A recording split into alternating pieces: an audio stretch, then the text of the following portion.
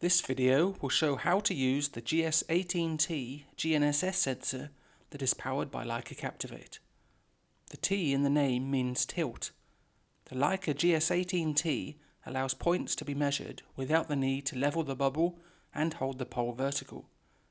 In addition, it is the world's first tilt compensating sensor which does not need to be calibrated and is immune to magnetic disturbances.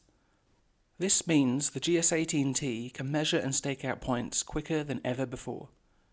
The video will first look at the benefits of using the GS18T over using a conventional GNSS sensor. The video will then explain how the GS18T works and how to use it for measuring or staking. Let's have a look at some of the benefits of using the GS18T. The Leica GS18T provides the fastest and most accurate measurements from any GNSS rover. The improvement in productivity is instantly recognized compared to using a conventional sensor, as the pole does not need to be leveled and held vertical for each measurement. You can measure points with incredible speed whilst maintaining accuracy. By eliminating the several seconds needed to level the pole at each measurement, you can increase your productivity of your working day by up to 20%. Without needing to level the pole, also stakeout can be done faster than ever before. With a conventional sensor, staking a point is usually a sequence of following the stake instructions, placing the pole tip down, leveling the bubble, and then repeating. With the GS18T, the process is quick and easy. By following the stake instructions and watching the graphics of the pole in the 3D viewer, the pole tip can be pointed directly to the points to be staked out the first time around. Job done. With a conventional GNSS sensor, measuring some objects is difficult because the sensor obstructs the ability to physically reach the required position to measure the point. With the GS18T, the tilted pole tip position means you can accurately measure difficult to reach points that you couldn't before. For example, corners of buildings and street furniture such as light poles. You can also measure next to objects with magnetic interference, such as electrical boxes, metallic fences, or near to cars, meaning you can now measure everywhere on site and measure more points with less effort. With the GS18T, all measured data has an integrated quality assurance, because there is no need to rely on trusting that the operator was holding the pole vertical. The tilt values for each measured point are viewable on board, or when imported into Leica Infinity, ensuring measurements traceability and complete quality reporting. Let's have a look at how the GS18T works. First of all, we need to understand how we can make a tilt compensated measurement. With a conventional GNSS sensor, coordinates are calculated to the antenna within the sensor, and then the position is projected vertically down by the entered antenna height. The pole tip only represents the true measured position when the pole is perfectly levelled and vertical. With the GS18T, the sensor measures exactly how the pole is tilted, the amount of tilt, and the tilt direction. The initial position is projected along the pole length to the pole tip meaning that the pole tip always represents the true measured position, whichever way it is tilted. All other tilt compensating GNSS sensors which are available in the market use a magnetometer to determine the tilt direction. The magnetometers used in these products are similar to those found in regular smartphones, where they are used, for example, to show the compass direction. The problem with using a magnetometer to determine the tilt direction is that they need to be calibrated frequently and are vulnerable to magnetic disturbances close to electromagnetic fields or ferromagnetic materials, such as metal or reinforced concrete. The result is inaccurate and unreliable tilt direction readings, which, for a GNSS sensor, leads to positioning errors of tens of centimeters. The GS18T is the world's first tilt compensating GNSS sensor that does not use a magnetometer to determine the tilt direction. Instead, it uses an inertial based approach using an IMU developed specifically for surveying applications.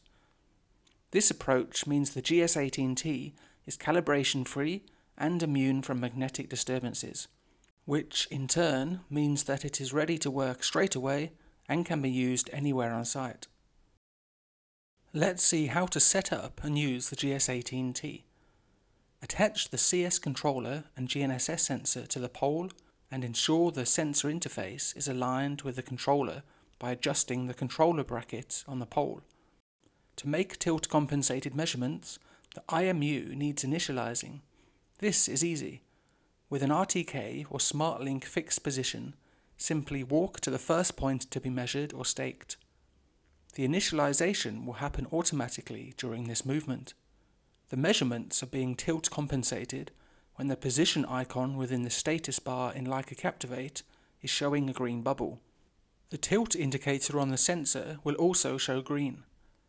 As you move about during the survey, the normal movement ensures that the GS18T continues providing a tilt compensated position. If the GS18T sensor stops moving for more than about half a minute or so, the tilt compensation will be stopped. This is shown by the position icon in Leica Captivate losing the green bubble. The tilt indicator will also switch to red. The GS18T is no longer providing a tilt compensated position. If it is wanted to now measure a point, there is no need to change any settings. Simply level the pole to vertical using the standard pole bubble and measure the point. To start the tilt compensation again, all it is needed to do is walk to the next point to be measured. With tilt compensation and no need to hold the pole vertical, measuring points is really fast and accurate. For maximum productivity, choose to stop the measurement instantaneously and to automatically store the point. The GS18T has no limitation to the amount that the pole can be tilted. However, it should be noted that the top of the antenna still needs to face the GNSS satellites in order to maintain a good position quality. The position quality values in Captivate take into account both the GNSS position quality and the tilt quality combined into one quality value. The current tilt values can be seen by accessing the current GS position status and going to the tilt page. Here the current tilt values and the quality are shown. The tilt values stored with any measured point can be seen by editing the point and pressing More. These values can also be seen by exporting the data using a style sheet to generate a quality report, or by transferring the data to Leica Infinity. It may sometimes be useful to measure points by levelling the pole in the conventional way, for example to conform to local regulations. This is possible by accessing the GS sensor settings to find the tilt compensation settings and set Use Tilt Compensator to off. Now when measuring points, the tilt compensation status will appear off on the LED indicator and software icon, and the pole must now be levelled in order to make measurements. Staking with the GS18T is faster than ever. There is no need to watch the level bubble anymore whilst at the same time trying to follow the stake instructions and move the pole into position. Harnessing the power of the 3D viewer, the exact position and tilt of the pole is seen live within the data. The whole scene is updated as you turn around. To stake the next point, simply follow the direction of the arrow. Once you are within half a metre of the point, use the graphics to aim the virtual pole tip directly to the bullseye centre. The actual pole tip will then land precisely where the point is to be staked out the first time around. We have seen in this video the benefits of using the GS18T, seen how it works, and how to measure and stake effectively with it. Thanks for watching.